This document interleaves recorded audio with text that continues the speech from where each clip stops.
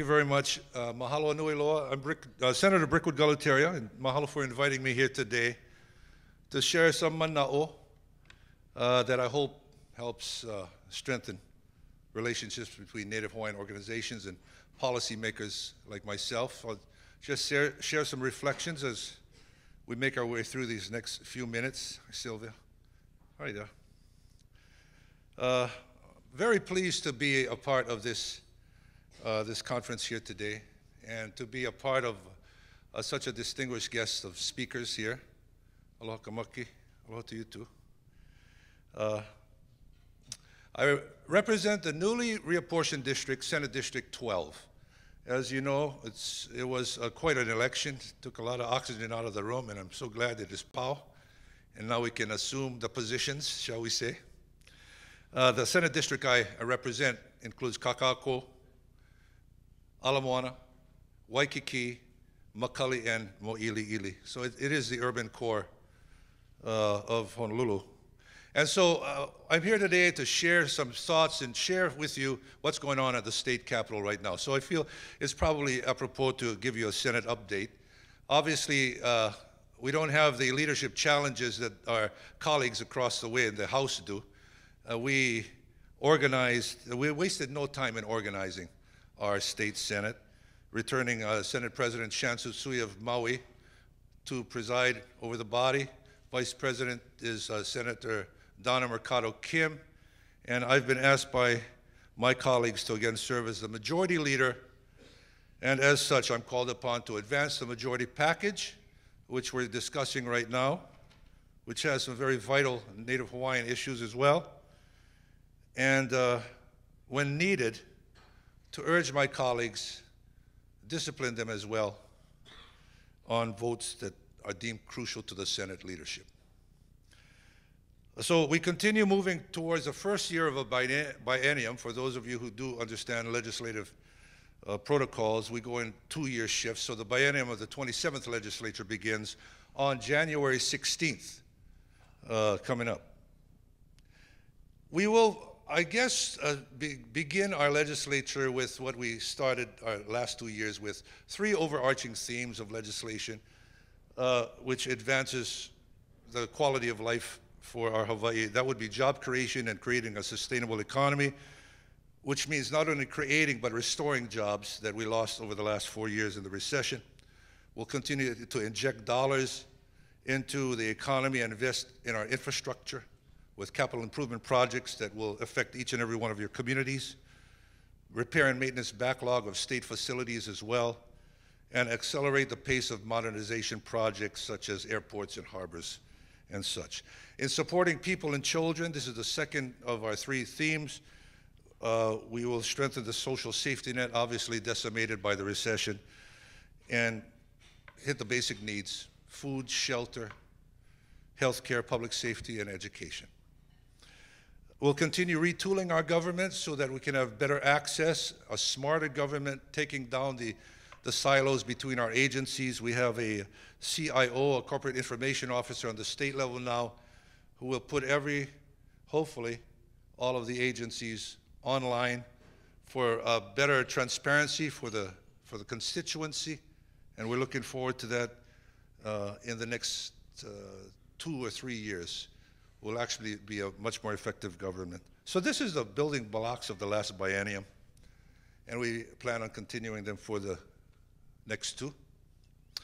I'll also continue not only as majority leader, but chair of the Hawaiian Affairs Committee in the state senate. The, the purview of the committee, as you well know, includes all matters addressing sovereignty and self-governance, including burial councils, including the Office of Hawaiian Affairs functionality as both a quasi-autonomous agency of the state government and as a trust, and we also oversee the DHHL and its administration of the federal land trust created by the Hawaiian Homes Commission Act uh, of 1920.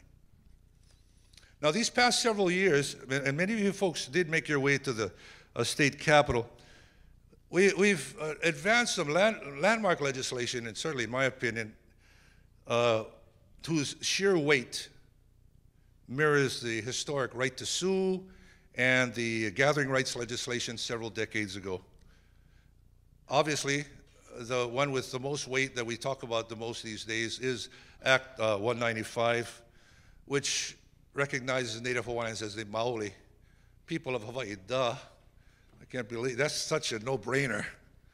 But in, in our search for this particular quote in statute, there were reasonable inferences that Maoli was the native peoples of Hawaii, but nothing actually in the law. So we needed to put it in the law. Secondly, over the executive's signature. Uh, secondly, it brings to us a clear call for action toward a, uh, creating a governing entity. And that's where our former Governor John Waihee leads the commission of Kana'iolowalu, which is uh, going to be the official registry that the state will receive. And from there, we will enact a labeling legislation towards perhaps a, a convention of some type. Now, we all know that there is obviously a Native Hawaiian convention that's happened already. So we may not have to reinvent the wheel. But I think it's premature at this particular point to say what any model will look like. Premature. But we're going to be talking it through. So I say that everything will arrive sooner than later. So at this particular point, we're going to be talking it through. Another uh, landmark piece of legislation that we addressed is the issue of the back rent of ceded lands. And so, having said that, we resolved what the state owes the Office of Hawaiian Affairs for its use of public land trusts. It's been an elusive issue for decades, and the measure involves disputed claims and conveys nine virtually continuous parcels, contiguous parcels rather, of land in the Kaka'ako Makai area uh, to the Office of Hawaiian Affairs. They received it in July of this past year, and it's a $200 million settlement. Uh, it represents a reasonable compromise according to OHA and the state of Hawaii. And the rents and lease from lands conveyed under Act 15 codifies uh, the agreement between the state and OHA. So all claims between 78 and 2012 now cease, but this, it was very clear that we are not going to preempt any claims going forward between Native Hawaiians and the state of Hawaii. In addition to that, we always try and put our Native Hawaiian uh, practices into policy. So, as an example, Act 288 establishes the Aha Moku Advisory Committee. Within the DLNR, this advises the chairperson on integrating indigenous resource management. So that's the type of things we like to do, or we try and do over the past several years. For today, I believe this conference speaks to, unless I'm wrong, building Native Hawaiian political mana, developing Native Hawaiian political leadership, and ensuring Native Hawaiian values in governance. So, I'd like to share some thoughts here about that, that notion. So let's examine how far we've come as Hawaii's first stewards. Uh, we have a tremendous economic capacity. And how do I know that? It's because Bumpy's been trying to make a bank, a Native Hawaiian bank, for years now. I think that's a great idea, by the way.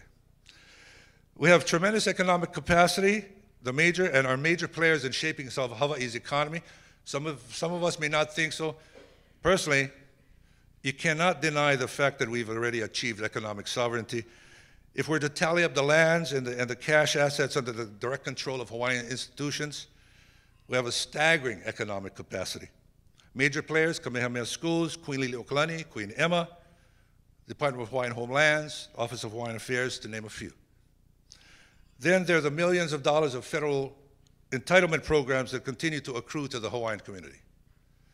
Although there will always be those who challenge and, and the challenge the constitutionality of and the need for Hawaiian uh, government-sponsored entitlement programs, we simply view this as justice and reconciliation. The uh, collective wealth of these Hawaiian institu institutions, you're looking at hundreds of thousands of acres in fee, as well as billions of dollars in cash. And we recognize Hawaiians now as the single wealthiest ethnic group in history. in the history of Hawaii. Through that lens, we're already a nation economically. And by the way, governments come and go, nations remain.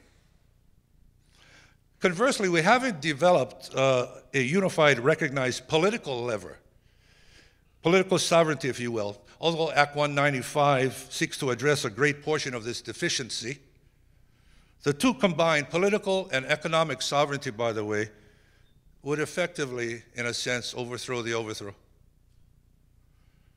Our political future and relevance in the life of Hawaii's governance will largely be determined by our ability to mobilize the Native community in one voice into political action by developing a blueprint uh, over the next 50 years, not over the next five. I would say over the next 50 years that creates and maintains political strength, influences, and infuses Native Hawaiian values into every aspect of governance, like Ahamoku Bill.